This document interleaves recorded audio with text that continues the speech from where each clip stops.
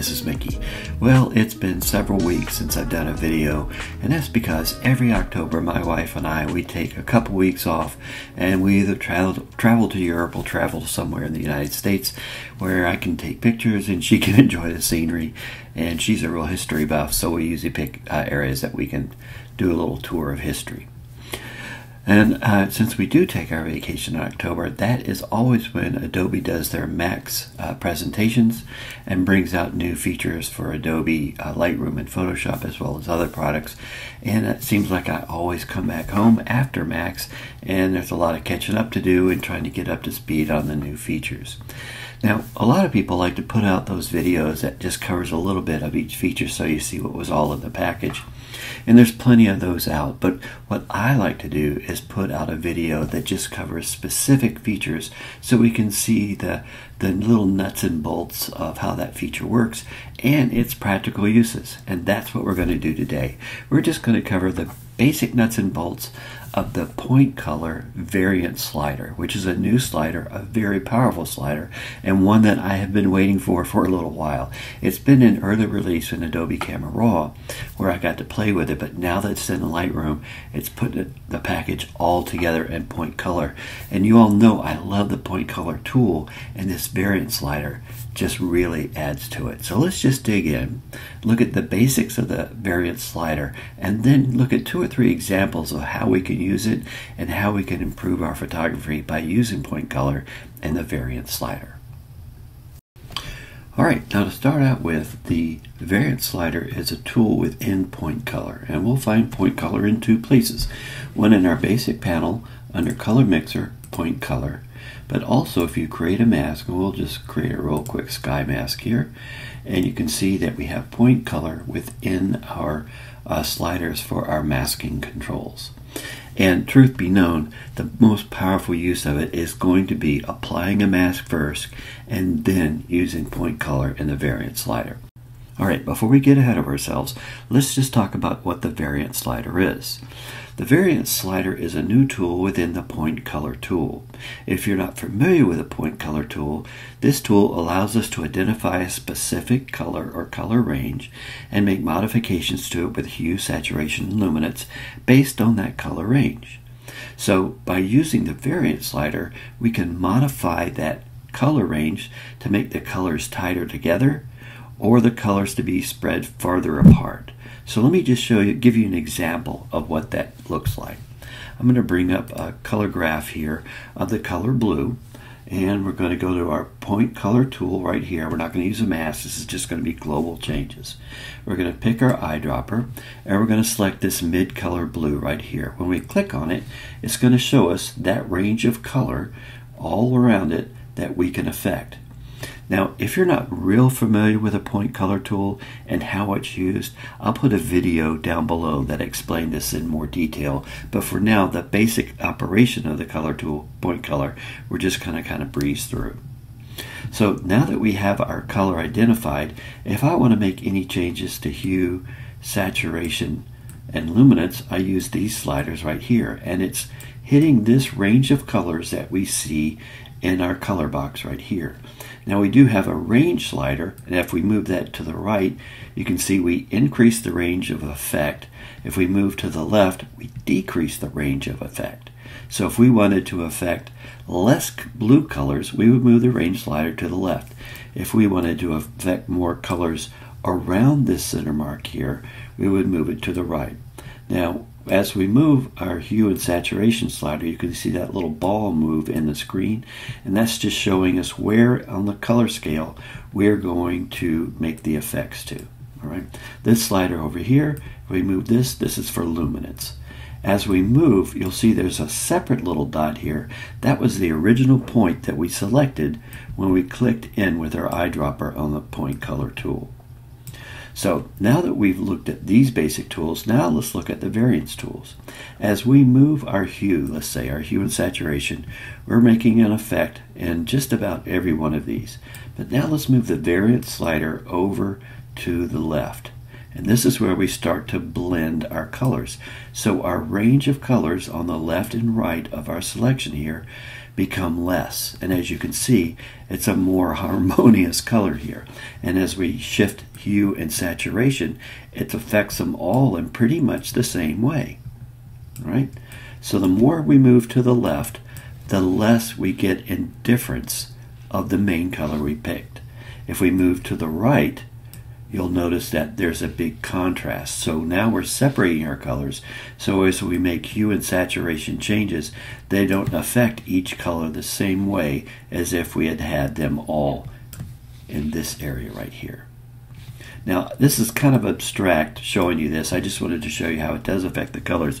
The best way, and it's the best way I learned, is you know, show me the money. I've said it before. Show me some pictures and how we can use this as a practical application. And then I kind of understand the tool a little better. So let's go ahead and look at three or four examples to see exactly what we can do. All right, so let's start out with this picture right here. This is one I took just a few weeks, a couple weeks ago in Kennebunkport, Maine. All right, so on this one, we notice that our sky looks real dark in the, at the top and it kind of fades off into light blue at the bottom. And let's say we just want it to be more uniform. So what we're going to do is we're going to mask the sky. remember, like I said, your most powerful use of point color is going to be within a mask. And we're going to choose a sky mask. Now, once we have the sky mask, we're going to go to point color and choose the selector. And what we want to do is select a color that we want the whole blue area to be more uniform in. All right, so I kind of like this blue right here. It's kind of a mix between the light blue and the dark blue. So we're going to pick this right here. And as you can see, it has selected that color. Now we're going to go down to our variance slider because we want a more uniform look. And I'm going to grab the variance slider. I'm going to start sliding it to the left. And as you can see, our colors are becoming more uniform. Right, so now we don't have that dark spot up here and it more matches down below. Once we get everything in a uniform state, we can now shift the hue a little bit and we can uh, turn up our saturation. And there you can see now the colors are kind of getting just all uniform. It looks like a nice blue sky. That's what the variance slider is doing for us. If we move it all the way to the right, you can see we have a very dark blue sky and a very light horizon. And that, that might be something that you like. If that's something you like, this tool is the tool for you. You can separate those blues into like a, a, dark, heavy blue sky, like deep space. And then off the horizon, you can lighten it up. Now, we can also use, let's bring this back to where we have the variance right there. We also, remember, we have the range slider. That's been there before. And that either increases or decreases the range of blue that we're looking at. But what it also does when we use it with variance, look at the clouds. We're separating our clouds from the sky and bringing out more definition. So that's just another just added benefit when you use your variance slider. Your range slider is going to help you uh, take those colors that aren't blue and ease around the edges. As you can see, it's around the edges that uh, the variance isn't hitting that the range slider will find. So we'll just leave it about like that. All right. So now, what else can we do with this? Let's go up and create a new mask. We're going to grab our landscape mask. And we already have sky, so we're going to say architecture, vegetation, and water and create those masks. So what can we do with vegetation? Let's see what we have here. So this is all our vegetation here. That's not vegetation. I'm going to go ahead and hit subtract with a brush. And I'm going to take that out because we don't need that to be involved. Okay, so now we have vegetation. I'm going to turn overlay off, or you can hit the O key and we'll turn the overlay off. And let's say we want to add a little luminance and to separate these colors a little more. So I'm going to go to my point color tool and I'm going to pick on the yellow. Now let's take our variance slider and we'll move it to the left, which means we're bringing colors closer together. And as you can see, the oranges, the oranges are starting to come in line with the yellows. If that's something that you like, increase the saturation, then then we can do that. But I like the the opposite way. I like the oranges to be more bright. So as we go, you can see we go from orange to more of a reddish color. That variance is making that separation for us without really affecting the yellow too much. Now we can change our work on our luminance. We can uh, lighten it up with saturation a little bit if that's something you want. You can even change the hue to see if that affects anything that you like. So if we change our hue a little bit, I get a more yellowish green, which looks a little more realistic to me. And if we look at our vegetation before, after, before, and after, let's just crank up the luminance just a little bit more. About like that, and maybe just a little more saturation. Now let's look at before, after, before, and after. And as you can see, our yellows are also being affected over here because of our uh, our mask. So it's just it just gives a little more separation of color and a little luminance uh, for the trees, the vegetation.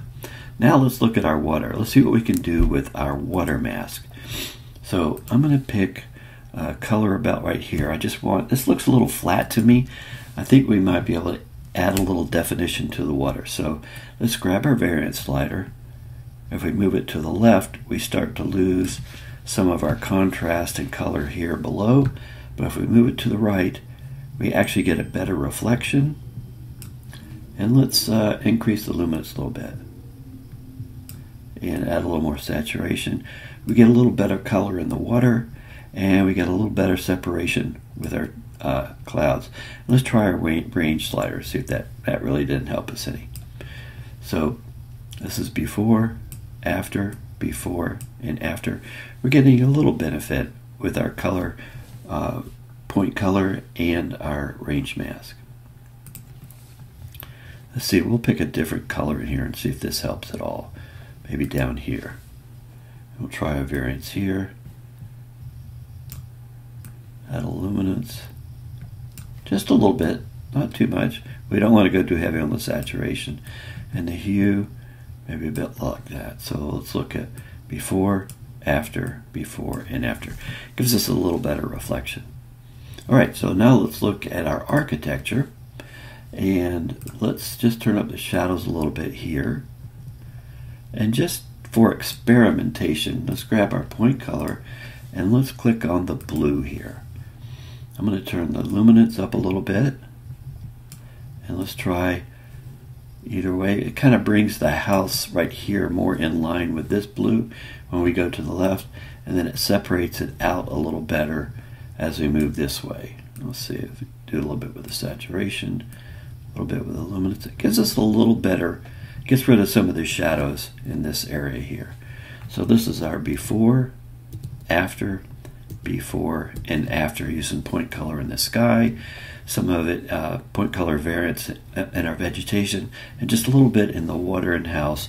Just gives us a little bit of change. It just makes the photograph have a little better contrast with the colors that we were using in our point color and using the variance slider. All right, now let's go to our next example. How many times you take a picture of a model or a family member and they have this splotchy skin? It could be even weather related. You're taking pictures in a nice winter scene, you know, everybody's cheeks kind of get rosy, but sometimes they get just a little bit too rosy, all right? So what we want to do is we want to bring this model's face more in line with the color of her skin, which is right in this area right here. I'd say it's more of a natural color. So what we want to do is we want to go up here and grab a mask of person, a people mask, right? We'll click on this and we want to do facial skin and body skin. And we want do not want to create two separate masks. We want to turn this off. We just want to create one mask. And we'll hit create mask. All right, I'm going to hit the O key to turn off our mask uh, overlay. And I'm going to grab my point color uh, selector, my sample dropper, I'm going to pick a color that I think her skin is most likely to end up being. So we're going to click right here. Now once we have our color selected, we're going to go down to our variance slider and we're going to start moving to the left. And why do we move to the left? Because we want to bring the separate colors closer together in range. Move to the left, you bring the colors closer. Move to the right, you start separating colors. So let's bring our slider to the left, and as we do that, look at that. It brings all those separate colors into one color range. Just about like that. Now, if you like that color and you just want to make some modifications, maybe bring just a little more color to her skin, maybe brighten her skin up just a little bit with luminance, you can do that. But since you've made a new color, you could actually click on this dropper again and click on the new color and you've got a new color swatch to work with. So it allows, allows you to expand that color range just a little bit more, about like this. Now, here's one thing that I like to do, and I found that it really works really good. Sometimes you get these hot spots. Now, I have other ways to get rid of hot spots, but if you're in a hurry and you just want to clean these up real quick, just go to your, your uh, erase tool here and get your little band-aid for uh, fixing spots without AI and just highlight the area like that. See how it just gets rid of those hot spots real quick? We'll do a real broad one here. Does a really good job. One more right here. Let's try that. So here's our before, after, before, and after. Just a really good way to use that variance tool to bring your model or uh, the skin colors to a more uniform color across the whole face. All right, let's take a look at one last one. Uh, this is uh, the Nubble Lighthouse in York, Maine. And um, used a polarizer filter, and you might have this happen every now and then. When you use a polarizer filter, you're going to get dark corners uh, of the filter, depending on how strong you turn it.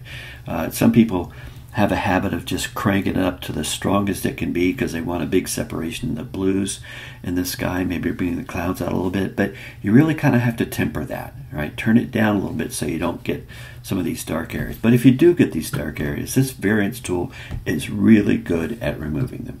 So we're going to go um, to our point color tool. Well, first let's make a sky mask. All right, so we have a sky mask and we're going to go to our point color tool and we're going to pick the color of the sky that we want the sky to be uniformly across the whole scene. And then what do we do? We take our variance slider and we move it to the left. As we do that, you see how it's already straightening up the sky? Just magic. I just love this tool. So move a little bit the variance to about right there. And you can also use your range slider. And you'll notice down in here, it was right, Uh, the, the, the afternoon was just disappearing from me, and this is the sunset coming in just really light. But if we use our range slider, we decrease the amount of colors that we're affecting, and by doing that, we kind of get rid of that little area of kind of a, a mauve or, or pink color that's coming in. So if we look at our before, after, before, and after a lot better uniform color. And of course, once you get the uniform color that you want, if it was going to be a little darker blue sky, you can bring that dark blue in a little bit, just like that.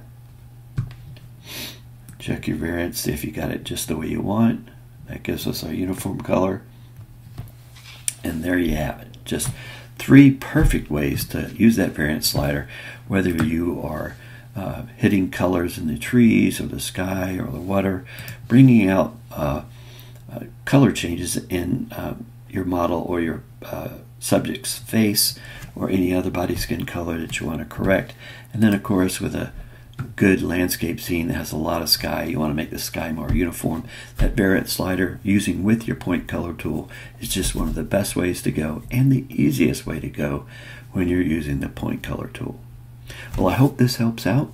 Uh, if, like I said, if you have not used the point color tool and you want to know some of the finer points, uh, go to that link in the comments below and I'll explain how to use the filter sliders and how to really narrow down the color range that you want to affect.